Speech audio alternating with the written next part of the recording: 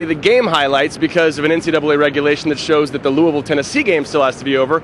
Thank goodness we brought our dolls with us to Charlotte. Let's go to the highlights now. It was an epic clash of the Titans between Psycho T and this guy from Australia, Aron Baynes of Washington State. Look at these guys. They were physical, and Aron Baynes was just beating up on Hansbrough earlier. Look, couldn't get to the basket. Hansbrough didn't make a field goal and didn't score a point until a minute left in the first half. Look, Baynes just kind of celebrating right here, but you know they were double, sometimes triple teaming him with the Frog and the Gnome and Mike Myers, and so Danny Green was wide open, and they gave him the rock and they said, "Shoot it!"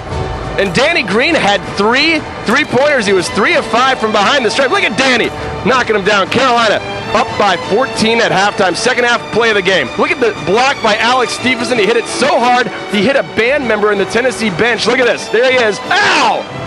Oh, man. And, and Roy even emptied his bench. Look, the cute little third stringers, little woodland creatures got to come out and play. And Carolina wins easily the final. We'll take a look at the scoreboard 68 to 47. Carolina holds Washington State to 31% shooting in this game. So, you know, uh, all